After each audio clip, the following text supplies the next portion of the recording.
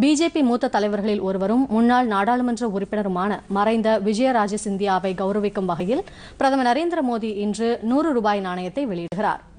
பிஜேபியின் மூத்த தலைவர்களில் ஒருவராக திகழ்ந்த விஜயராஜே சிந்தியா ஜனநாயகத்தை நிறுவிய தலைவர்களில் ஒருவராவார்.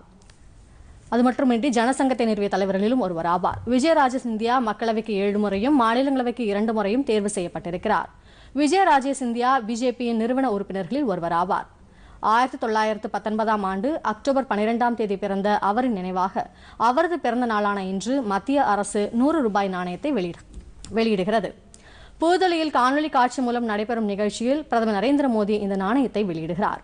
இந்த நிகழ்ச்சியில் விஜயராஜ சிந்தியாவின் குடும்ப உறுப்பினர்கள் பல்வேறு இடங்களிலிருந்து காணொலி மூலம் பங்கேற்கின்றனர். குவாலியரின் ராஜமாதா என்று மறைந்த விஜயராஜ சிந்தியாவை மக்கள் அழைத்து வந்தது குறிப்பிடத்தக்கது. பொதிகை செய்திகளை யூடியூபில் தமிழ் நியூஸ் தூர்தர்ஷன் என்ற சேனலிலும் முகநூலில் டிடி பொதிகை நியூஸ் என்ற பக்கத்திலும் ட்விட்டரில் டிடி நியூஸ் சென்னை என்ற பக்கத்திலும் இன்ஸ்டாகிராமில் டிடி பொதிகை நியூஸ் என்ற பக்கத்திலும் காணலாம்.